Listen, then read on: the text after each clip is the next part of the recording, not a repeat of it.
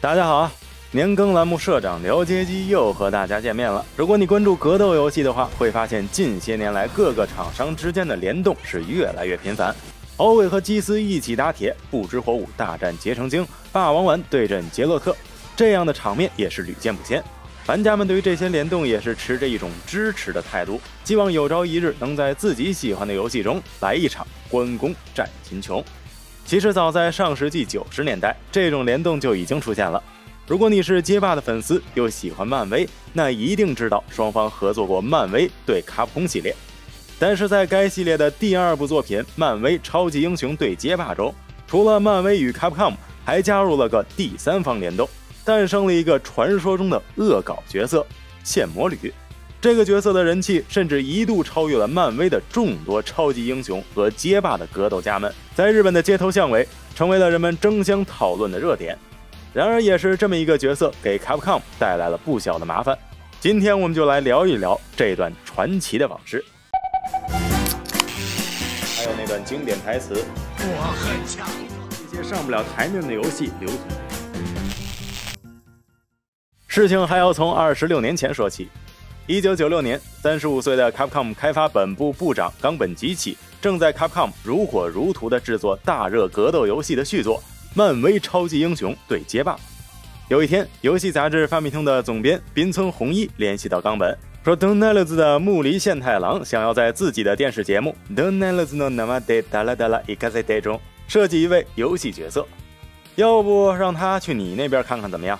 虽然事出突然，但冈本吉起一听到木梨宪太郎，他也没问节目的录制流程和附带条件，甚至连公司高层的意见都没有征求，便一口答应了下来。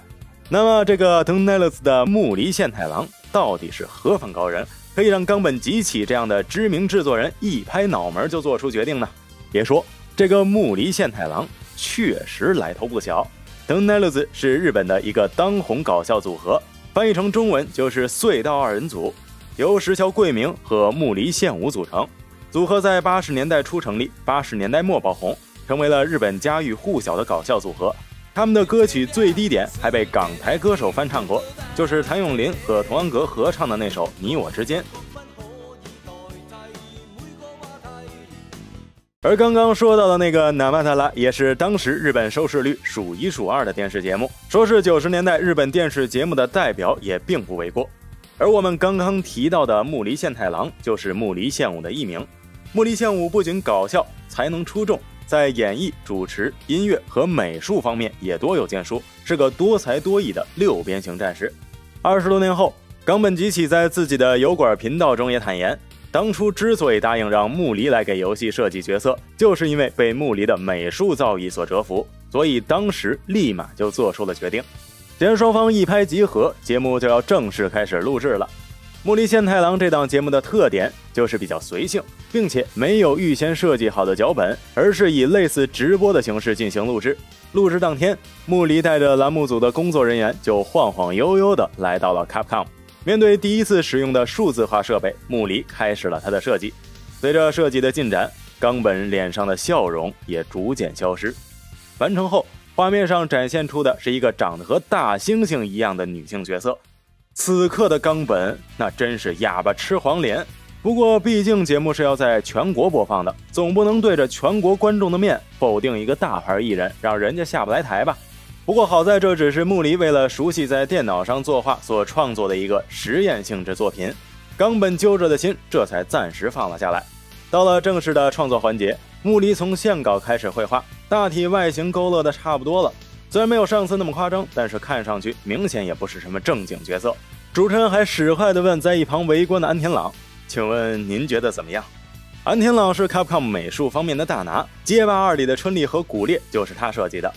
面对这样的提问，安田说：“呃呃，我觉得非常好。”然后主持人又对冈本提出了同样的问题。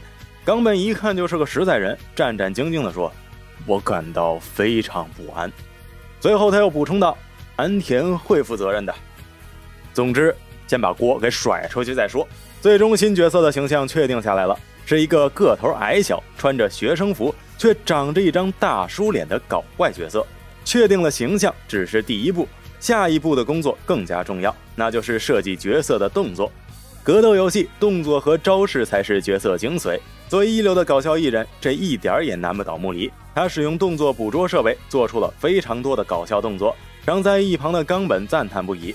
从走路、防御到各种拳脚攻击，把一个角色的搞笑属性发挥得淋漓尽致。这些剑走偏锋的想法，确实不是他们这些正统的游戏设计师能想出来的。形象和动作都搞定了，但角色还没有起名字。栏目组就把这个任务交给了电视机前的观众，在节目里发起了征集名字的活动。结果通过邮件，一共募集到了两千六百九十六个名字。穆里最终选择了一名叫做李谷明庆的十三岁小观众的提案，也就是我们大家都知道的现魔女这个名字。为了表示感谢，Capcom 还给这个小朋友送了一份礼物：漫威超级英雄对街霸的游戏机版和一个街机矿体。还有 Capcom 在 PS 和 SS 上发售的全部游戏，好家伙，这可真是一份大礼！不知道如今已经接近四十的李谷明幸还有没有收藏着这些宝贝呢？在征名的过程中，角色也在紧锣密鼓的制作。等到节目再次开始录制的时候，冈本给栏目组的人演示了已经接近完成的线魔女。游戏中的线魔女完全还原了木里所录制的动作。木里本人看到后也是非常激动。当主持人问他还有什么其他没有展示的技能时，冈本扭扭捏捏地说道：“呃，接下来的画面可能有点不太合适。”在主持人的一再追问下，还是展示了出来。没想到居然是灌肠攻击。通过画面可以看到，剑魔女对着蜘蛛侠和绿巨人使出了千年杀，漫威的超级英雄们受到了肉体和心灵的双重暴击。到这里，距离角色完成只差一个环节，那就是配音。这也是为角色注入灵魂的最后一步。Capcom 请来了达尔西姆、肯、小樱和丹的声优，一起和穆里完成接下来的配音工作。穆里本身就是艺人，在表演方面也是专业级别的。虽然录制的素材量并不少，但是配音工作进行的十分顺利。